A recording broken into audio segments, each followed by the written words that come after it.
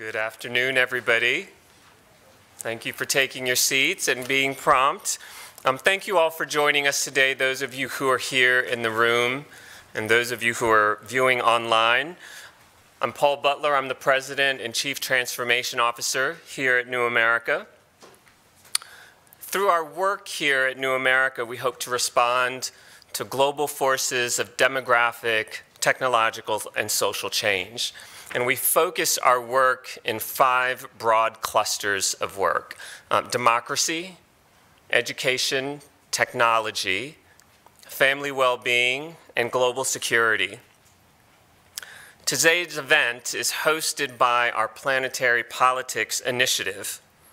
Planetary Politics is the brainchild of a few folks um, our CEO, Anne Marie Slaughter, members of our international security and our political reform teams.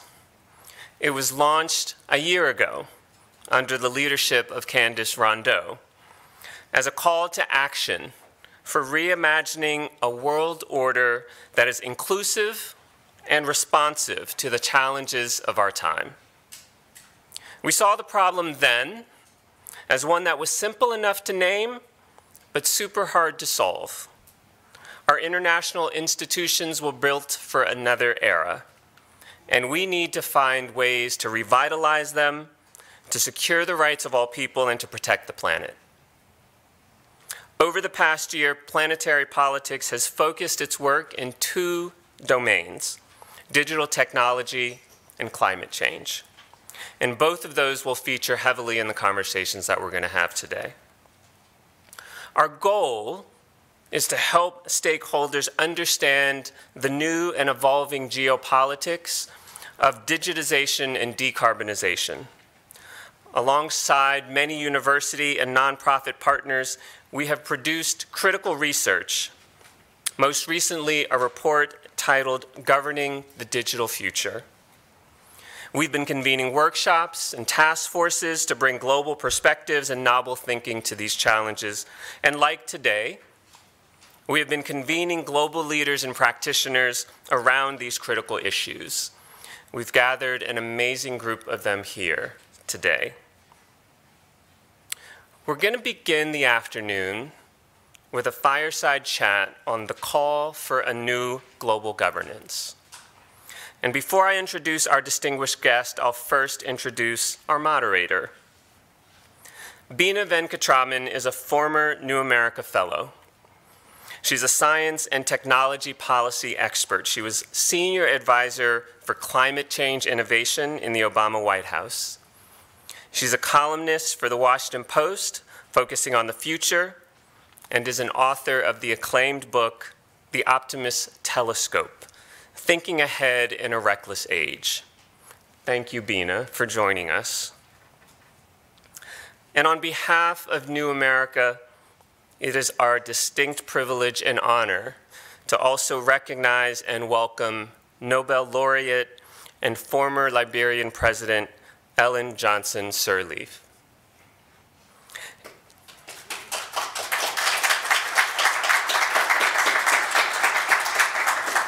She has come all the way from her home country on the heels of an election to help us explore critical issues at the intersection of global governance equity, and transformation. She was Africa's first democratically elected female head of state, serving as president of Liberia for two terms, from 2006 to 2018. Taking office shortly after the decade long civil war, she steered Liberia through reconciliation and recovery, as well as the Ebola crisis.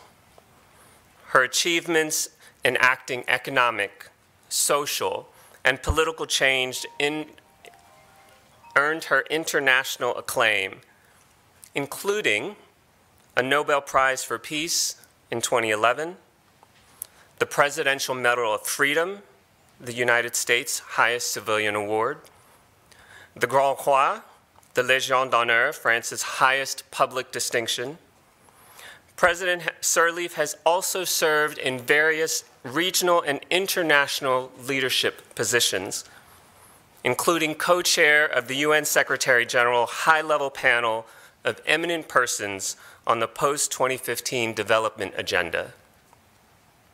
Chairperson of the Economic Community of West African States, and most recently, co-chair of the UN Secretary General's high-level advisory board on effective multilateralism. She is a tireless promoter of freedom, peace, justice, women's empowerment, and democratic rule. We are honored to host her here at New America. Thank you for joining us. Bina, over to you. Thanks so much, Paul. Welcome, Madam President. Thank you so much for being here for this conversation and for traveling all the way. To be here, Bina. Thank you, Paul, for, for this initiation to have this, this session today. And thanks to everyone for being here for an important conversation on a critical topic, which of course is planetary politics and global governance.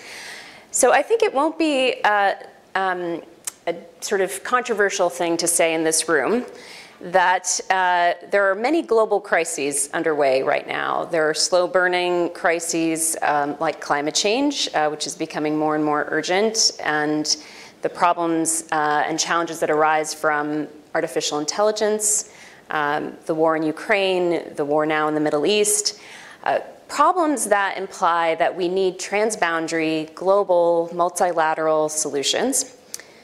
Uh, but at the same time, it seems there's a growing skepticism and maybe even cynicism that we have the kind of international institutions, and you heard it in Paul's welcome re remarks, that could actually help us deal with these kinds of challenges. And I just want to start by asking, what's your take? What are our international institutions, are they up to this task?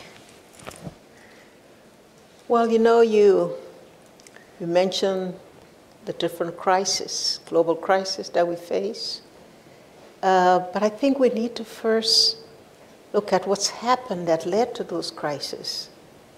Uh, the fact that there's been a crawl toward a fracturing of global governance structures, uh, effective multilateralism, global cooperation, have all been undermined um, over the past decade. And on the fact that uh, we've not had this cooperation, uh, we find that uh, different countries are beginning to find different paths, staying away from the international order of peace and democracy, uh, pursuing, in some cases, uh, different political systems, or being able to defend uh, their own differences. So those crises of having weakened uh, effective multi multilateralism and cooperation has led to the other crises so, that we now face. So do you diagnose the problem as uh,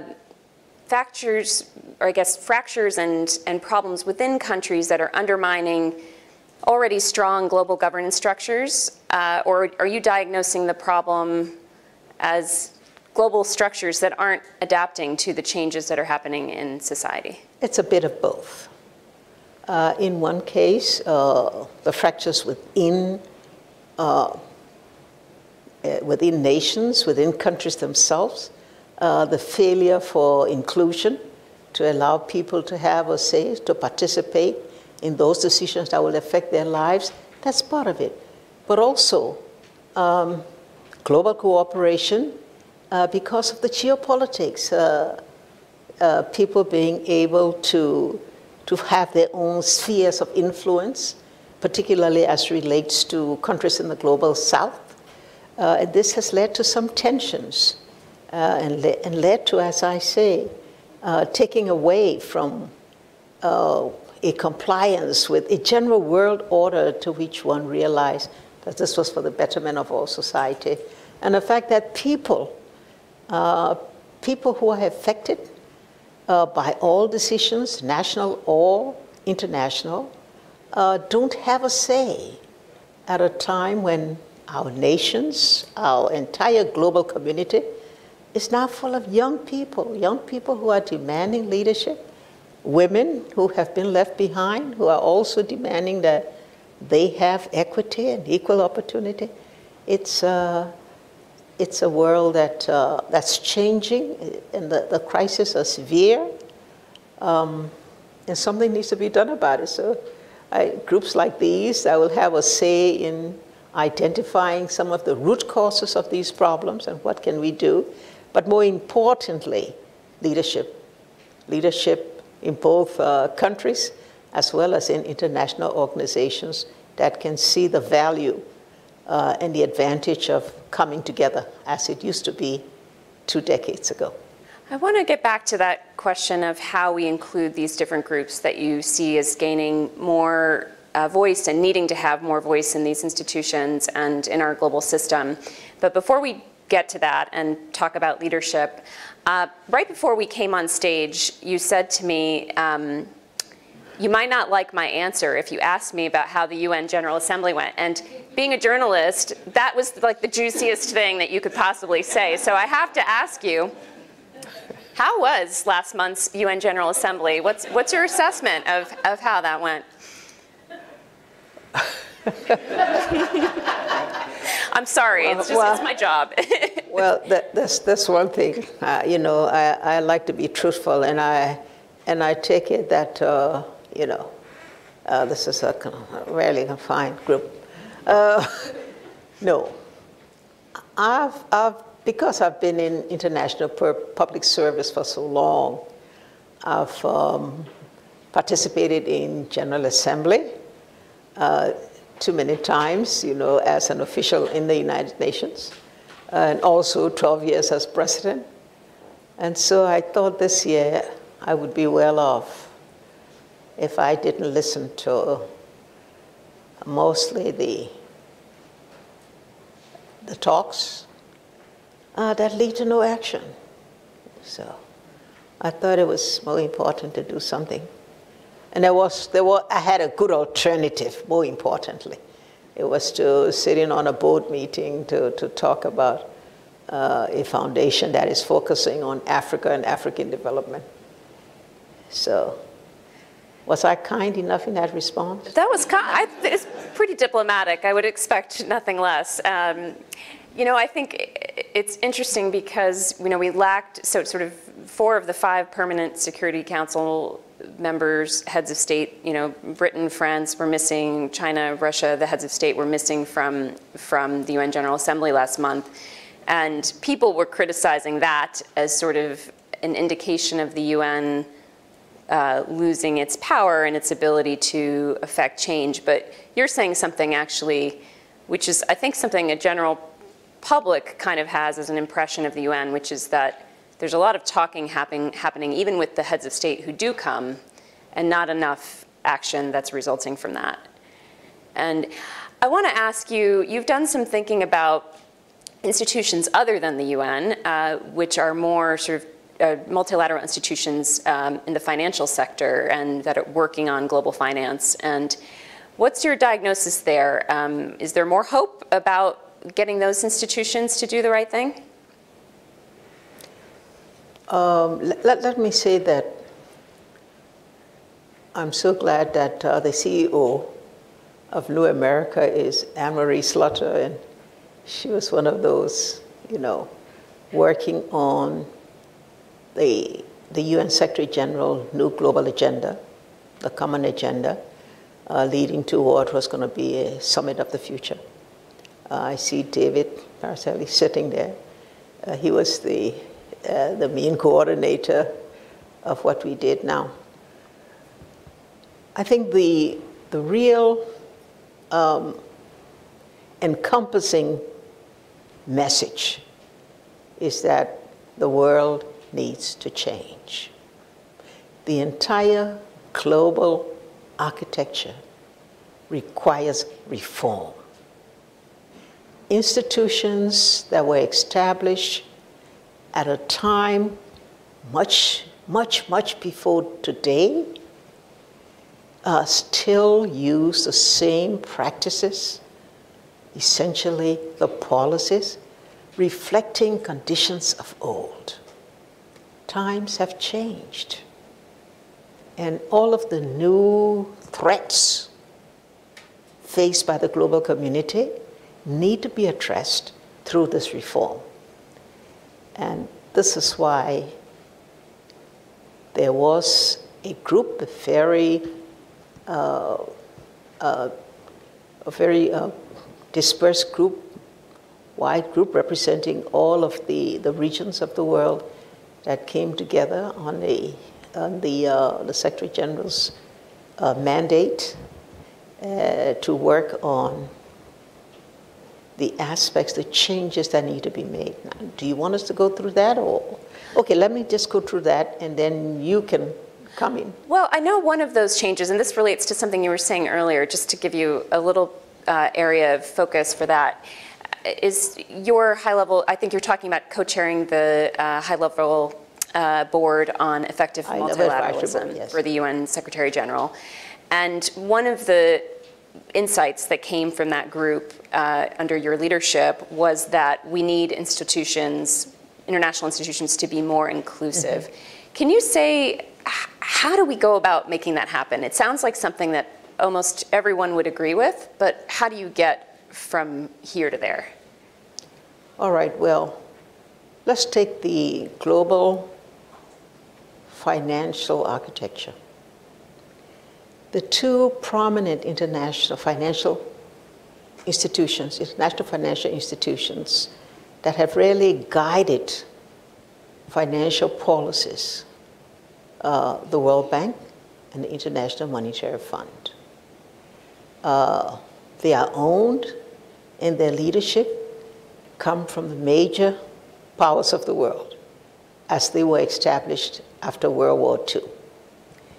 Um, clearly, we need some changes in that.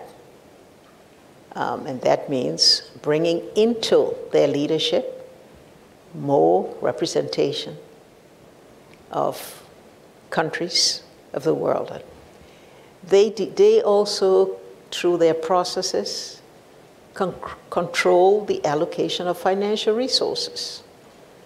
Um, again, we think that changes would mean that some allocation, some partnership arrangement should be made with financial institutions in the global south, for example, development finance banks that have responsibility also for financial flows to support development. Um, we believe that some of the long-standing arrangements of conditionalities, what do countries have to do to be able to benefit from these financial flows, uh, need to be rethought. Um, are we going to, the, the size of, of the financial envelope has not provided the scale required for transformation in poor countries. So they find themselves like in, in the issue of debt, uh, being able to get debt relief, you know, through arrangements and for and COVID-19 send them all back into debt. Uh, and so that scale of resources, uh, being able to, to give, to build capacities uh, for stronger domestic resource mobilization. Uh, and if I may say that one of the major reform that we need in the international financial architecture is the role of private sector, cap, private capital. Private capital that will be able to address the, constraint, the constraints that countries face uh, to improve their economies, to have value added to some of their primary uh, resources. Now, admittedly, there's an issue there because private sector, uh, you know, profit-seeking institutions, which is the right thing for what the way they are structured. And so that would mean if we're going to make sure that we we um, find a means for private sector to also be a part of the flows to developing countries, then there'd have to be means to to uh, minimize the risks that they would face. So de-risking options would have to be determined to enable that to happen. Um, we need more representation on a discussion that I held in G20, you know, where the major uh, better performing countries the world sit down to discuss financial policies, financial allocation of resources. Uh, there are uh, groups like finance ministers that are invited to some of those sessions, but they don't have real uh, decision-making powers. Uh, should we not have a chance to reform G20? And there have been talk about inviting uh, the African Union to have a seat in G20. The same applies to G7, where the seven major powers of the world are the ones that make the real policies that, re that relate to, to issues affecting development, affecting the world, particularly in the area of finance. How do, you, um, how do you think this would apply to a specific area, for example, with climate finance, which has been both a really critical part of global negotiations on addressing climate change, but also uh, a bit of a, an issue of disparity and an issue of conflict between countries in the developed and developing world? If you had a scenario where you had more inclusion of uh, countries that would be beneficiaries of climate finance, whether from governments, international uh, banks, and financial institutions, um, and also the private sector. Uh, how could you see that playing out differently than sort of the scheme of climate finance we have now? Well, I, you know, I don't, I don't think we've yet um, seen a full determination on climate finance. I think we've seen many, you know, COP, COP, uh, how many COPs we've had. Uh, and we haven't yet seen the delivery of the um, resources that were committed, even, even though there's some talks on a bilateral partnership arrangements.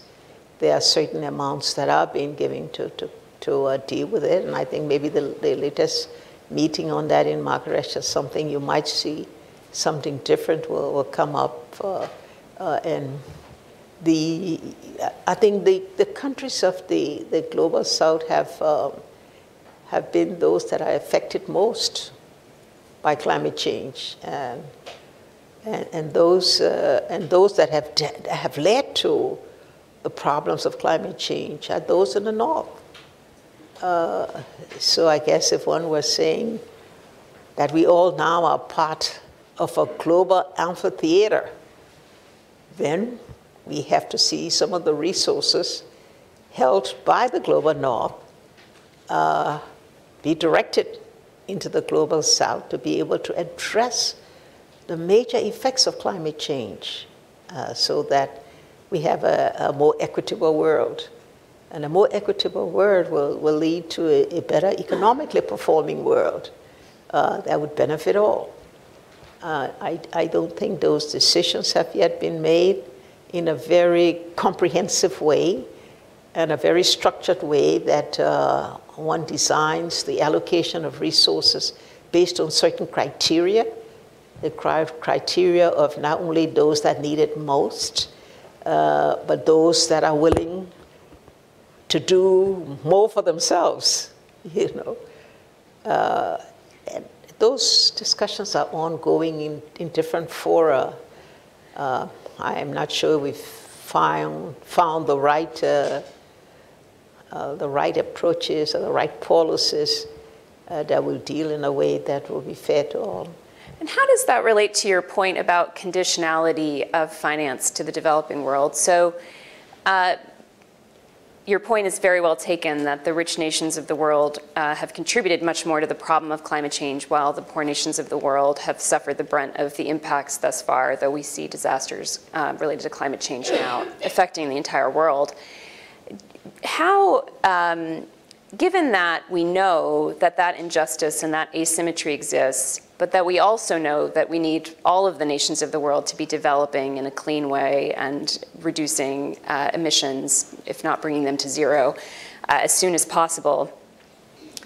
Uh, how does that relate to what kind of conditionality there should be on climate finance uh, going towards uh, poorer nations, nations that are less wealthy, nations that have contributed less to the climate crisis? I think most times conditionalities set forth by primary financial institutions or under partnership arrangements tend to be more one size fits all, uh, not really recognizing the specificities of countries, their endowment, their capacity, their, even their culture. Uh, and those conditionalities then, uh, some well intended, but if they don't fit the conditions and the time frame to be able to achieve the results anticipated, um, then they don't work and you find the countries again uh, slipping back. Uh, and I think we have so many examples of that. So if we're going to have reform, we need to, again, we change institutions that would change policies and approaches and measures. One might see things like that addressed. Sometimes the conditionalities don't fit the problem at hand, uh, you know. Uh, that also leads to some of the tensions in the major powers arrangements. Uh, those who may see human rights, you know, as a, you know, as a major uh, trigger uh, for development, quite rightly so for some. Um, for others, they might not uh, see that as being significant in achieving uh, the level of support that they would like to give to countries. So that may lead again uh, to differences and lead to some tensions in the partnership arrangements that uh, we're not subscribing to the same ideals. Uh, that says that um, one needs to, to also recognize uh, differences. Uh, you hear people talk about Africa and what Africa needs what Africa should do. Africa is 53 countries,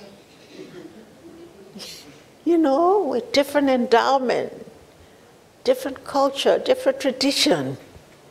So if you're doing support for Africa, you may have to look at it with all these kinds of different specificities and see how you can tailor the response and its support uh, to the real issue, to the, you know, real situation that, that pertains. This is, uh, you're raising more complexity than our current institutions are capable of dealing with. So I am going to ask you um, at some point maybe to elaborate on, on how we kind of get there. Uh, but I do want to ask you about democracy, because when we think about problems like the climate crisis, and um, we look at the ways that democracies, including this one that we're in right now, um, are, have struggled to take, uh, to come together and take strident action uh, on climate change. I think there's some doubt uh, being sowed about how and whether democracies can respond by sufficiently marshaling investment in clean energy, sufficiently cutting emissions. Uh, you rebuilt a democracy, you built a democracy from the ground up, and um, I presume you're still a proponent of it as a system of government. And so I want to ask you, um, what gives you confidence? Does anything give you confidence that democracies are capable of addressing this problem? My first answer is yes, but let me expand on that a little bit. I believe it's clear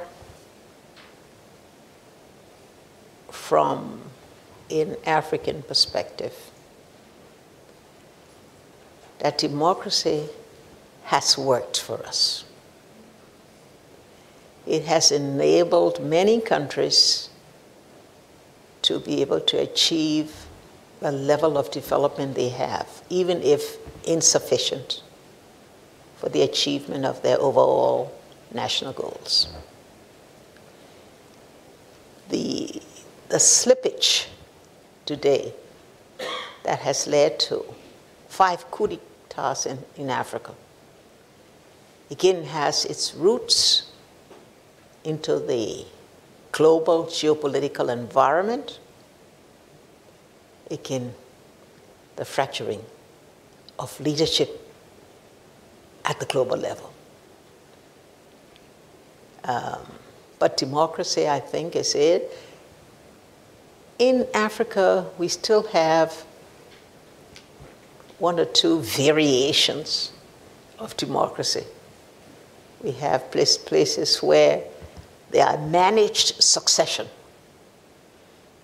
uh, anticipating who's going to take over. So you don't have, you still find that in places like Botswana, Namibia, some of the South African countries. But, but, but by and large, I think the people of Africa believe democracy is the way to go. We've had military rule, we still have authoritarianism, but democracy is what has enabled us to achieve what most countries have. I think there's one thing I must say, whether we're dealing with conditionalities or we're dealing with the allocation. Again, in Africa, it is clear the primary responsibility for the development of Africa rests on Africa and African leaders. And African leaders must be the one to take responsibility. So, in forging conditionalities, we should build into that package the fact that only leaders who do all the things we say we want to see done by others are done by themselves. We're going to open it up to questions in a few moments, and I hope uh, someone can give me a time check if possible. And um, but the question I want to ask you before we do that is is about that. So you, you have talked about the responsibility of leaders in Africa and of African nations, including some of the smallest countries in the world. Um, what is the responsibility that these countries have when it comes to some of our big global challenges? What, it, what are the actions that, from your perspective, need to be taken by even small nations when it comes to these bigger planetary problems? I think, first of all, we need, we need leaders uh, who lead with strong commitment to the development of their country, with the participation of the people in the different governance structures that exist at all levels. We need particular emphasis on certain things like education to create the capacity to govern effectively, health, to ensure the safety of people to be able to, to work. Um, we need integrity in, in governance uh, to ensure the allocation of domestic resources are used properly for the achievement of national goals. So I, I think those are, those are the things that uh, we do find a certain level of that in certain countries. And we, don't, we also need a regular uh, peaceful transfer of power so that we don't have, you know, too long. We need, we need change, and we need change in people too. So those are all some of the basics that, those are discussions that are ongoing now. And that's what might lead to change in the global, but we have to change first, right? Thank you. I want to invite people to come up and ask questions of the president.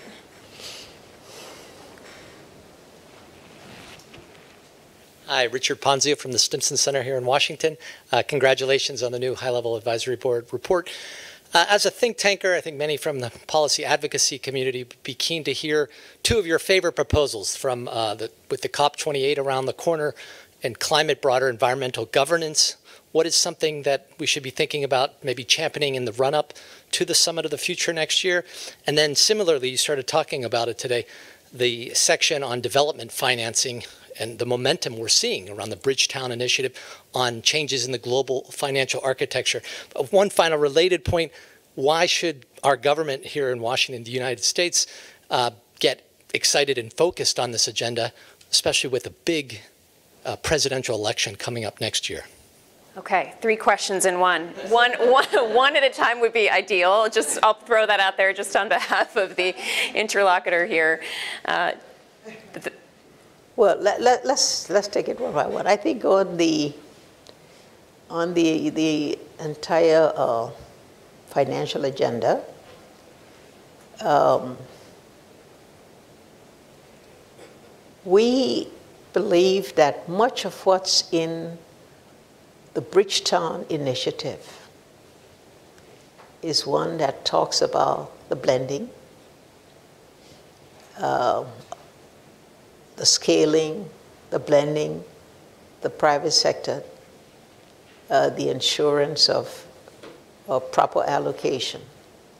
Uh, it also reflects the same things about uh, decision making in financial institution participation uh, of some of the the other institutions from the south. So the, the all of the the rest of the measures to improve the uh, financial, global financial architecture, I think are, are well stated. It goes beyond the, uh, the, the Bridgetown Initiative, but the Bridgetown Initiative is the core of all of that. And then what was the other one? So the first was what were your sort of one or two sort of favorite or priority recommendations from the high level uh, advisory board on effective multilateralism looking towards next year's summit on the future? Is that right? Well, the number one priority has to do with the global financial architecture. The change of that, change in, in the structure of the World Bank and the IMF, uh, bringing participation of the uh, multilateral development banks, uh, being able to have the allocation of resources uh, made in such a manner that they address the major causes, they, they being able to, to make countries able through their endowment uh, to get the domestic resources to develop their own country. So that for me is number one. Number two,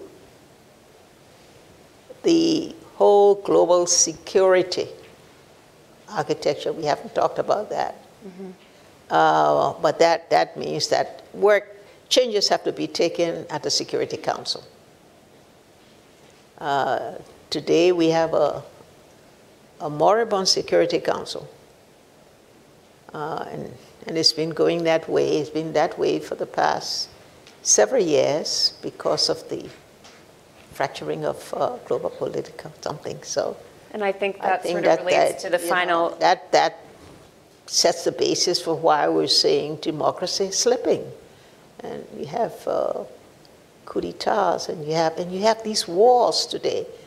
I mean, and, is, and with the existing situation in Ukraine, now Palestine and, and, and Israel, it's going to, to bring more pressure, more pressure on finding the right solution to these. At the same time, granting groups like terrorism, granting groups that would like to see military regime trained that feel that they can get away with it because there's not a body. So, again, how do we bring better representation or something? If I may also talk about the on pandemics and health, I can say that we had a group. I was co-chair of a group with uh, with Helen Clark, former Prime Minister of New Zealand, that worked on a whole measure of, of trying to uh, make WHO a stronger and, and better finance institution, international health regulation being set up for reform. And we've been on advocacy for the past year or so talking about international uh, health threat council. And we haven't succeeded in getting any focus on that. So here we are going to go into another global agenda. Uh, people and planet, the name of the report, effective multilateralism. We're going to be talking about that. How many global agendas will we have until we see the political will to make them happen, to make some of them happen? Uh, I think that's a challenge to everybody. Um, hi, my name's this thing sucks. Uh, Steve, I uh, work and study here in the city. Thank you very much for today's forum. Um, I appreciate it. Uh, Madam President, uh, for a number of us who were young producers, uh, one of the last times that you came through the city, uh, we really appreciated your your comments and your interaction with members of the Hill, Chris Coons, Ron Klain. Could you amid today's sort of fractured political environment, and that's probably being charitable, uh, could you give us a, an overview of uh, your last interactions with members of Congress uh, during the uh, Ebola crisis? And, uh, and my other question is, uh, is there a great game for Africa? Wagner Group comes to mind, some private military outfits, resource extraction, that sort of thing. And, and and uh, the PRC's efforts in China also. So thank you very much. Okay, so just so we, uh, the second question, can you just sum it up in a sentence? I Is there sure. a great game, a, ren a, a renewed game? great game, uh, game, G-A-M-E. Oh, great game. For Africa. Great game. Okay, I'm not sure I understand the question either. okay. I think the question is, is, is Africa up for grabs yet again? With, with, between China and, between China and Russia. Russia, yes, and okay. school colonialist friends. Right. Is there a game for Africa? Oh. Not, You know, I've, I've heard talk about, oh, recolonization and all this thing. That's, that's, that's not true. Uh, I mean, Africa's past the stage of, of being a place you can just come and pick, pick what you want and, you know, and run with it. No, we've gone past that fun. Yes, long-standing historical and traditional relationships do exist, uh, maybe to our own disadvantage, uh, that we haven't built a stronger, effective uh, union among ourselves and have a common agenda, what we call the Africa's, Africa 2063, the Africa we want. Uh, we've put it forward, but it's so aspirational that we haven't moved it from aspirations uh, to activism. Um, and so in that respect. But uh, there, will, there will be no recolonization of Africa. in terms of either soft power influence of China or resource, even just resource ownership or of uh, foreign companies, do you have any concerns about that? Just, yes, there, like I said, there's geopolitical intervention. Mm-hmm. And sometimes it's driven by greed greed for resources. Sometimes it's driven internally by, again, my power and, you know, self self gain and, and whatnot, corruption and all the, and all of that. So that, that's sometimes part of it, and that exists in within countries and exists in partnership between countries. Uh, but I mean, we have to take responsibility on, on why, why uh, we have not grown up in such a way that uh, we don't need, um, we don't need uh, French military support. Uh, let's, let's support the development of our own armies. You know, that's where we need the support. I mean, but not so much armies. Let's build the economies first so we don't have to have too much money spent on armies. Uh, and did you, did you want to share anything about um, your experiences talking with members of the US Congress about the Ebola crisis or since then? Well, let me say that I'm, I'm proud to have had a very strong bipartisan relationship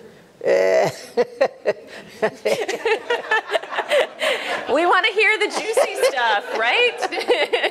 yeah, we want to hear it all.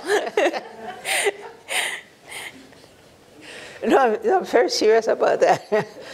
uh, that uh, we've had, I've had that, and it has enabled me to have the kind of cooperation that we were able to get for Liberia through legislative support because of that. Uh, and so, and, and I think all, all our countries should, should work in that manner. When it comes to, to, to China, because there's always the question about, you know, China. Uh, China has a different approach to development. China's, China has the, the big step approach, you know, build big, big uh, football arenas, football stadiums, big, big. Yeah, they don't, They don't really benefit everybody. Um, they believe in big infrastructure. They build the railroads and the schools and all. Um, eh, but those have a place also in, in development. It's needed. Uh, this is why you see countries still want it. On the other hand, we do know that when it comes to the social services like health, education, I mean, those are the bedrock anyway of improvement in any society. And so, but those things are not quick fixes. Uh, China has quick fixes. Five years, you may get a big railway. You need 20 years to get quality education. Uh, and so, how can we blend the approaches and the assets of both instead of seeing it as, as uh, well, we're getting into a situation where they're so opposite. It's a, a fight for that, and I, I don't. I know. Just imagine, just imagine if we could get the major powers of the world to agree that they'll have a cooperative endeavor when it comes to development in the South, and that the resources could be pooled from each into a common pool with the right conditionalities and the allocation that's fair and just to the need and the, and the uh, abilities of the country's own effort. Just think if we had that, how much we could develop, we could develop the infrastructure in Africa that would enable something, you know. Today, 800 million people in Africa don't have electricity. How we, how, we, how we're going to how we're going to respond to that? It's very difficult. So this is why we really need to get, we need to get back. We need to get them back, back this cooperation to find a way to get it back. We need political will on the part of everybody. Political will, that's, can you hear me okay? Yes. Yes, um, Jill Shooker, I'm a counselor for UNESCO here in the US, and I'm going to try a trifecta, which hopefully will be quick. First, on the technology piece on AI.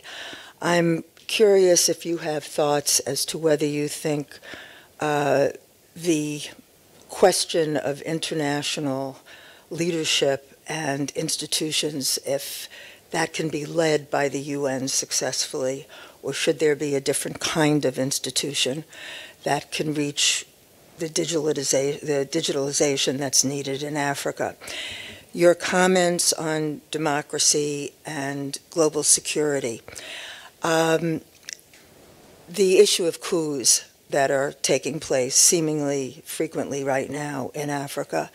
I'm just wondering what your perspective is on why that seems to be happening with more frequency, uh, almost back to the 60s. Um, and with that, uh, the third question is you were saying you uh, Africans need to be able to, I believe you said, to focus more on themselves in terms of security. And I'm wondering what you think about the force that's going to Haiti and uh, whether you think that's appropriate. Thank you so much. You got to help me with those questions. sure. I'll do my best. Yes. So the first was about AI and whether the UN is an appropriate international institution to deal with the challenges of AI globally, or if we need a different kind of global institution. I really don't know. Well, I know that I don't know much about AI, artificial intelligence. I don't. And I wonder if, if um, we all in the world know enough about it, except those that are who technically strong in, uh, in AI. As a matter of fact, I, I, I, I see some fear in the growth of AI as I, as I see it take away from the human endeavor. Hmm? So, but will we need a specialized invitation to respond to it? Maybe so. But I do hope we will see the institutions we have now uh, re energize themselves and reinvent themselves and come back to the area where they are cooperating to be access the existential threats that we face now that many of the less developed countries have no capacity uh, to understand or to be able to, uh, to manage it. This sort of relates to your earlier point about inclusion, and then I think we'll take a final question because we're leading uh, to the end here. Um, but you talked about more people being able to express their voices in these international institutions, and I think part of the challenge right now, and part of the reason there's a lot of skepticism about institutions responding to problems like artificial intelligence, like the United Nations responding to artificial intelligence, is that people see some of the harms and they see some of these problems very up close and personal in their lives, and they see something like the UN is very far away from their lives. Is there something in your recommendations that would help bridge the gap between people and these larger international institutions? I think inclusion, inclusion of people. Mm -hmm. At the national level, one need to move away from the centralized power and authority into building on the periphery, you know, at the mayor level, at community levels, and all, where really, those are really the, uh, the front, the front uh, uh, responders. In the health, that's what we find of community health workers. COVID-19, it was community workers uh, they're not given sufficient support, sufficient compensation, sufficient recognition. Uh, being able to build the, the, places where people can have town hall discussion, not just when there's campaign. Then town campaign, you get a lot of town hall discussions. Uh, but as a regular means of understanding, UN decisions, African Union and other regional institutions' decisions, being able to have places where people understand them and know them. So that when you ask about a UN institution, most persons in, in, in the in community, particularly in rural areas, will not even know about it. You know, because there's not enough opportunity to involve them, to know what it is, for them to, even if they, they cannot make the decisions because they don't have the capacity and the understanding to make the decision. But with their knowledge, they can have more ownership, and more ownership will bring more self endeavor. You know, because talk about the coup d'etat, as was, was mentioned. The coup d'etat became because uh, it started through um, terrorism was not responded to. Insecurity arrangements. It is not the security decision, the Security Council that can really prevent, prevent something from happening. You've got to have security bodies that are equipped, that are empowered at the regional level to be able to, uh, to deal with that. Uh, representation at the global level, yes, is good because more voices with diversity in, in, in, um, in diversity in knowledge, diversity in action is good uh, being able to shift from, you know, peacekeeping forces to forces of pre conflict prevention so that you don't have to spend so much money responding to crisis if you can use less money preventing crisis. Uh, so it's trying to reframe, reframe the whole uh, global agenda. I think that we need to spend more time on. Just a small task. And I'm going to give the final question to you here. And uh, please tell us your name. Hi there. So I'm Ben Dalton. I, I work here at New America. Uh, we have some online questions that are coming in, so I'll just keep this very brief. Um, so one question is, are most of the reforms and changes that are being discussed here, uh, do they rely on good governance and competent leaders? And if that's not the case, are you not essentially throwing good money after bad? Yeah, that's correct. Sounds, sound- Sounds it's like true. it's true. No, it's true. I, there's no denying that. It's true. We've reached the end of our, but I do want to ask, I want to just abuse the moderator role for a second and ask you to tell us, I think you've given us a lot of areas of concern in terms of the state of the world order, and I think many of us wake up, if not uh, struggle to fall asleep because of our concerns about current global affairs.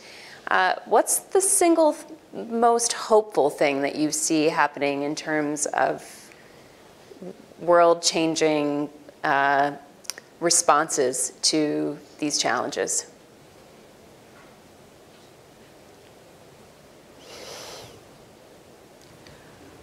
Five letters. W O M E N.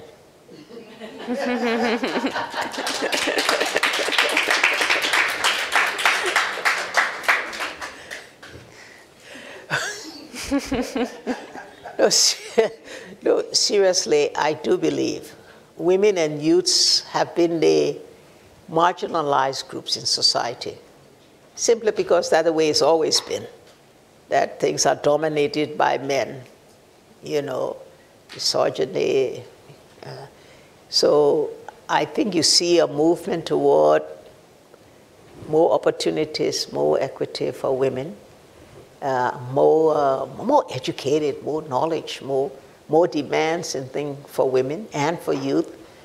And I think unless we turn that around so that we find these two groups are allowed much more of a say in decision making at both national and international level. And I ask you to just look at the, you know, look at the um, the results and the reports that we get and see where, where uh, when women lead, uh, women have a little bit of a different uh, approach, uh, preservation of human life, uh, empathy for others, uh, trying to find means for bridging differences you know, I think, but that's not to say that one wants to say women will rule the world. I wish it would happen, but it won't. Uh, but I think if we have more women participation in every aspects of national and global decisions, and they have a say in leadership, not just as tokenism, you know, but in leadership, that uh, I think you'll find a, a more peaceful and a more balanced world. Thank you. You've certainly blazed a trail there, uh, not just for Africa, but for the world. And thank you so much for being here for this conversation and traveling all the way from Liberia to uh, share your insights with us today. And thank you, everyone, for being here. Thank you.